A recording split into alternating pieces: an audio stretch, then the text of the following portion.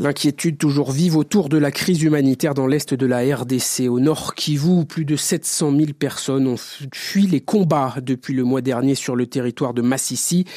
Des combats quasi incessants entre les rebelles du M23 et l'armée congolaise épaulée par ses alliés, les milices Ouazalendo.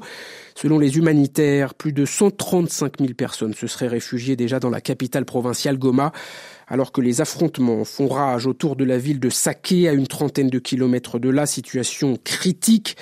Les routes sont coupées, l'approvisionnement devient très difficile, comme nous l'explique Voltaire Batundi de la société civile de Massissi. Le problème persiste de l'accès aux denrées alimentaires, surtout les produits de première nécessité provenant de Goma. La farine de maïs, les haricots, du sel, carburant, des médicaments. Ça passe par la route qui relie Goma à Walikal en passant par Massis. C'est coupé parce que l'M23 au prix Moucha qui exige des taxes pour un véhicule qui est chargé, il doit débourser au moins 750 dollars par véhicule alors, ce qui accentue le prix jusqu'à ce que ça l'accès à ces denrées difficiles. Les produits qui arrivent sont très chers. Un sachet de sel qui coûtait autour de 1000 francs, aujourd'hui c'est 2000, ça a doublé le prix.